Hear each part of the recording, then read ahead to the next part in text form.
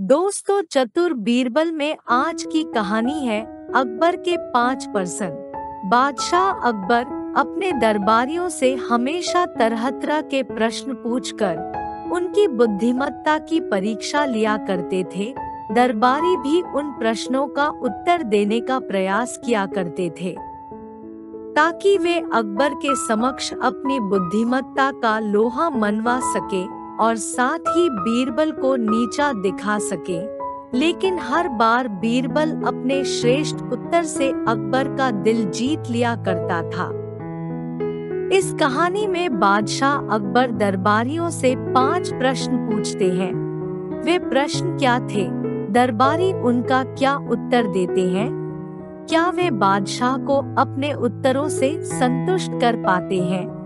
जानने के लिए सुनिए अकबर बीरबल का ये किस्सा।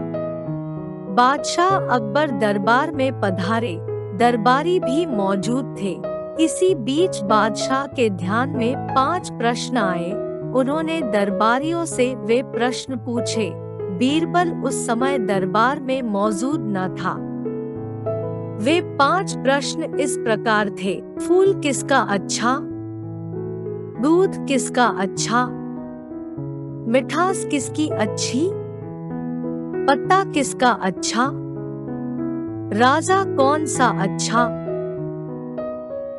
बादशाह के इन सवालों को सुनकर दरबारियों में मतभेद उत्पन्न हो गया।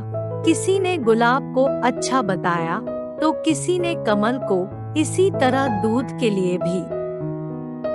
किसी ने गाय तो किसी ने भैंस और बकरी आदि के दूधों को अच्छा बतलाया। पत्ते में किसी ने केले के पत्तों तो किसी ने नीम के पत्तों को गुणकारी बतलाया। राजा कौन सा अच्छा है? इस प्रश्न के उत्तर में चापलूस दरबारी एकमत थे। सब एक स्वर में बोले, बादशाह अकबर सबसे अच्छे। अकबर उनकी स्वामी भक्ति पर खुश हुए।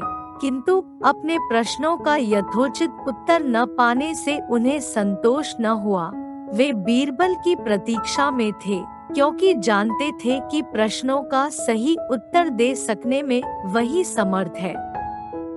तभी बीरबल आ पहुँच और अकबर के बगल में अपने स्थान पर बैठ गया।